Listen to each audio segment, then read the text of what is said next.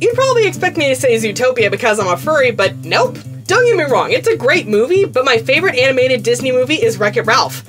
I love the overall concept for the movie's environment, the characters are relatable, and while the plotline may not be completely original, it's done really well. That and I can't get over Fix-It Felix Jr. I mean, look at him! How is he so adorable?